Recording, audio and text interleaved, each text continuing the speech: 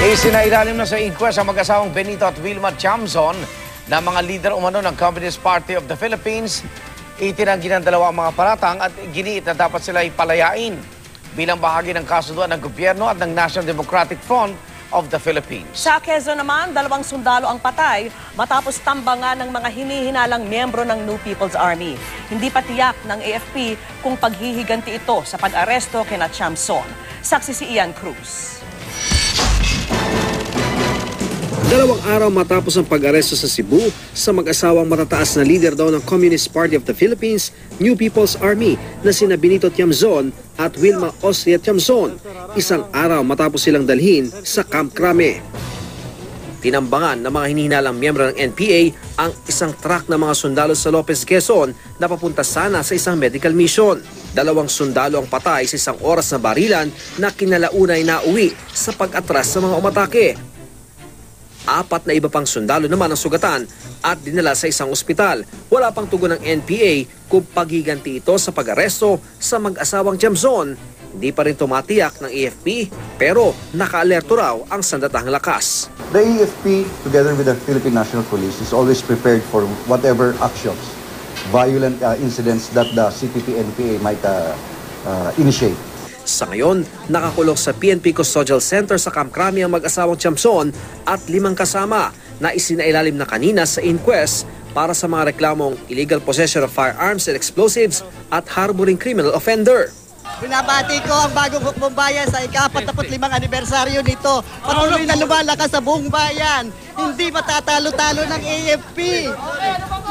Itinanggi ng grupo ang mga hinaharap na reklamo, sabay sabing dapat ininquest sila sa Cebu kung saan sila inaresto imbes sa Camp Crame. Paano naman naging baril ang, ang laman noon? Eh, tuta at, at, at pusa nga yung kasama nila. So hindi hindi totoo no na ngayon lang lumabas yan. Um, eh, clearly uh, it's a, a planted evidence. venue, bakit daw dito? Eh, yung authority ng DOJ is pag-inquest kahit saan pwede. Pagdating naman sa hearing, kung saan nangyari, doon talaga yung hearing. Nandun yung tuta sa ano, sa iniwan namin, di na pwede bitbitin dito. Naiwan sa Cebu yung mga sinasabi nila. Yun. Ah, kanya-kanya depensa yon.